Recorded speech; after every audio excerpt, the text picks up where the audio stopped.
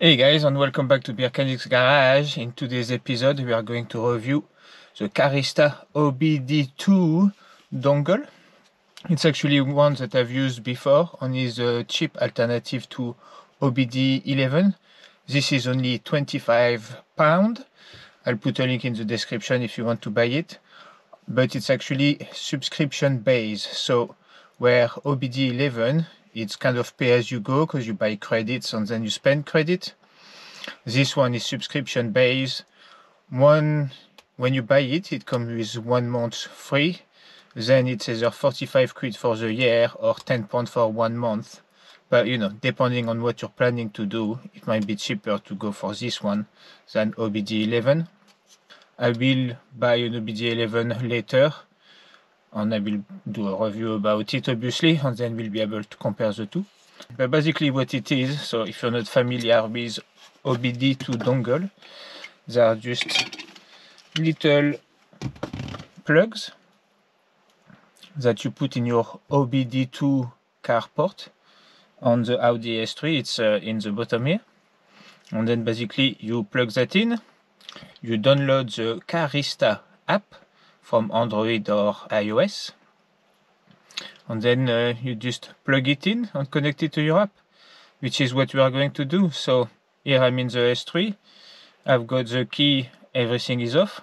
I'm going to put the dongle and then I'm going to switch the car and put it onto ignition. We don't start the car. You can see underneath here. And there we go. I've already installed Carista as you can see here. Connect. What kind of ODB adapter are you using? Carista. Let's allow it. Allow it. You need Bluetooth for that. So here we go. We are now connected with the car and as you can see we've got diagnose, customize, service and live data. So diagnose is to do your usual uh, check on reset fault codes and stuff like that. Customize is the section that I was interested by. You just click on customize and you wait for it to load all the options available. Okay, so once you've got your features loaded, as you can see, there is a wide range of them, including some interesting one up here. Disable auto startup system, Metom B. Actually, I've never done this before, but I might as well do it. so just pick your setting, click save.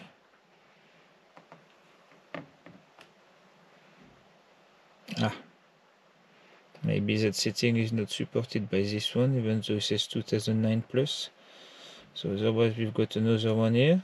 Disable auto start system, you won't get any indication. Uh, we can take an easier one so for example, if you go to maybe light interior,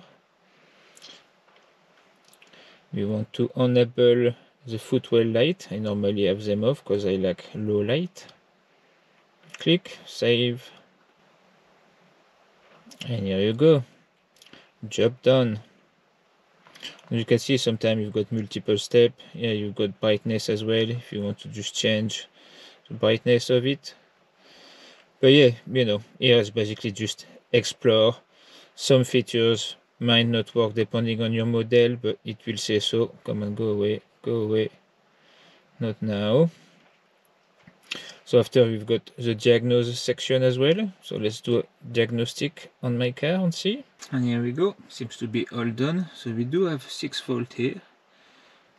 One on the ABS let's check out what it is manufacturer specific code. It doesn't really tell us much. Looks like we can click on it. And yeah it will open it up and at least we can find out what it is. But you can also just reset them. What I'm going to do is basically I'm going to reset them all. And then I'll do another scan at some point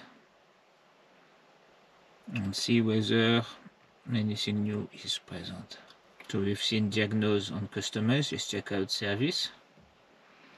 Check in your vehicle for available service tools. You can see various information.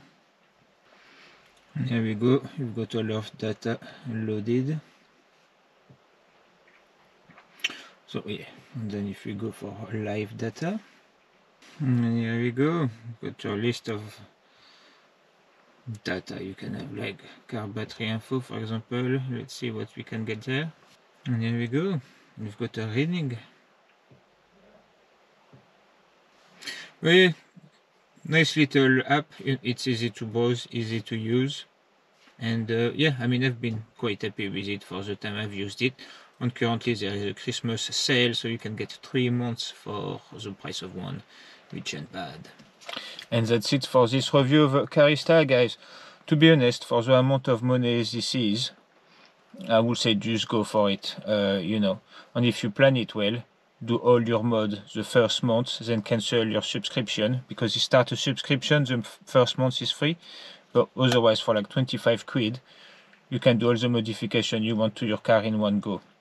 After, unfortunately, it's attached to your account, so you can't just buy another dongle and then uh, get another one.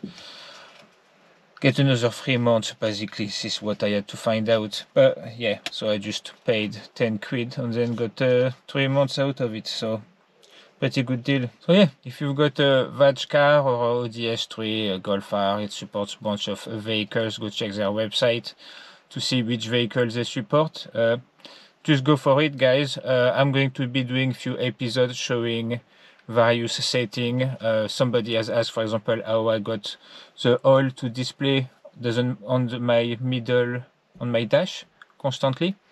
Uh, so I will show you that on other cool features and options that we can try and see what they actually do on the Audi S3 8V. Anyway guys, thank you for watching. Give us a like, give us a comment and see you in the next one. Bye bye.